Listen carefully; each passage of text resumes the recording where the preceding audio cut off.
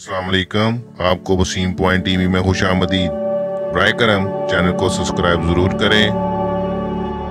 आज का टॉपिक गुलदस्ताए हदीस। हज़रत अबू हुररा रज़ी अल्लाह से रवायत है कि रसूलुल्लाह ने इरशाद फरमाया, जब तुम में से कोई सूरतुल फातिहा के आखिर में आमीन कहता है तो उसी वक्त फरिश्ते आसमान पर आमीन कहते हैं। अगर किसी शख्स की आमीन फरिश्तों की आमीन के साथ मिल जाती है तो इसके पिछले तमाम गुना माफ़ हो जाते हैं। हजूर सरवर कायनात हज़रत मोहम्मद सल्लल्लाहु अलैहि वसल्लम का इरशाद है कि तमाम अजकार में अफजल है इलाहा इल्लल्लाहु, और तमाम दुआओं में अफजल अल्हम्दुलिल्लाह है। हज़रत अब्दुल्ला अनहा से रवायत है कि नबी करीम वसल्लम ने इरशाद फरमाया, सलाम में पहल करने वाला तकबर से बरी है।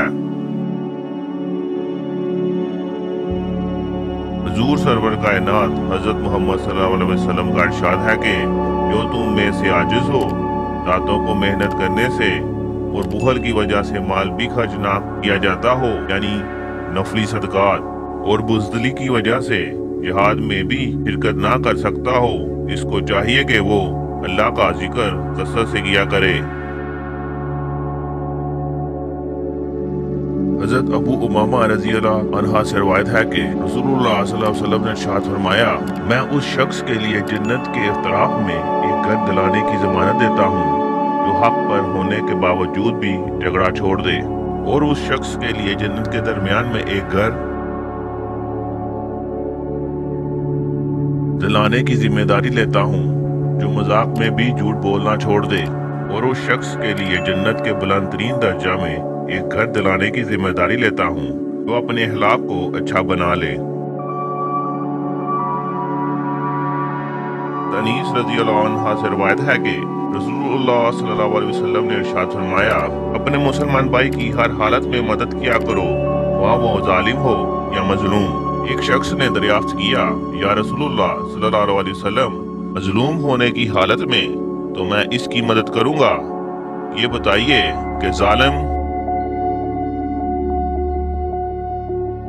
होने की सूरत में इसकी कैसे मदद करूँगा?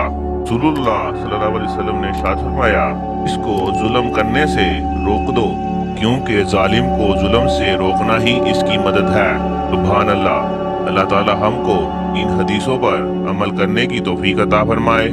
आमीन। वीडियो देखने का शुक्रिया। चैनल को सब्सक्राइब करें, वीडियो को लाइक करें, वीडियो को दोस्तों के साथ शेयर करें। वीडियो के नीचे कमेंट्स भी करें।